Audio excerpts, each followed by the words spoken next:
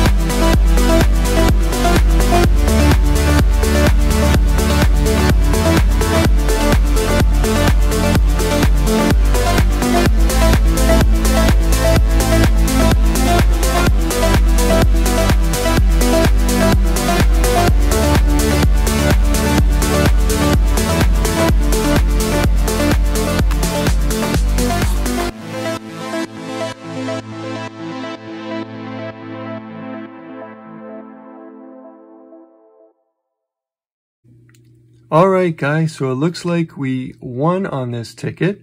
On card number two, we were able to match one line, number five, number 20, the free space, number 51, and number 71. So it looks like we have won $3 on this ticket.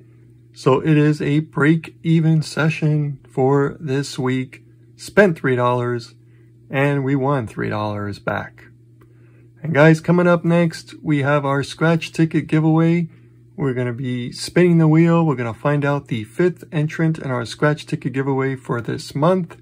And then next week, we will spin the wheel. We will find out who won the scratch ticket giveaway for the month.